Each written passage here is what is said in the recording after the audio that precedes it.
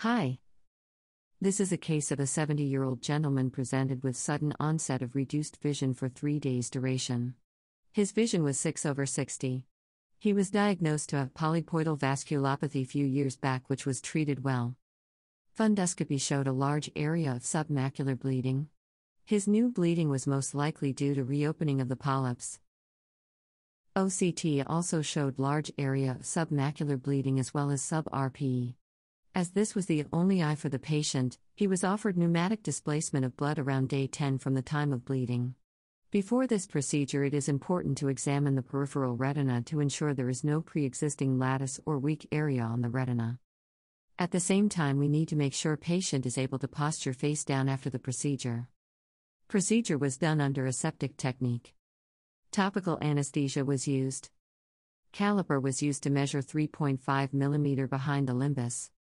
100% gas was used. In this case, we use SF6 100% 0.5 to 0.6 milliliter. Concurrently, we also ensure the eyeball doesn't go too hard by digitally pressing the eyeball.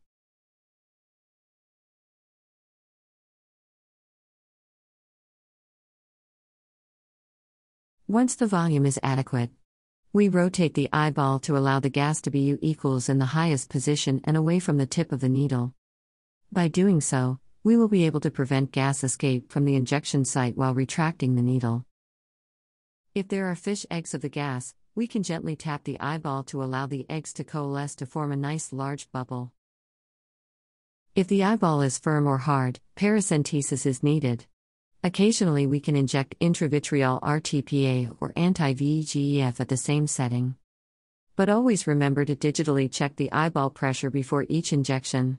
More substance injected into the vitreous, high chances paracentesis is needed to avoid sudden rise of pressure. Patient was then asked to keep face down posturing.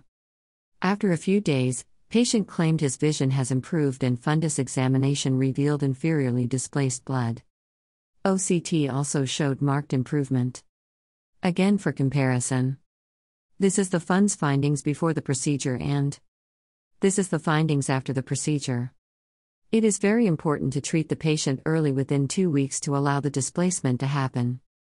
Thank you.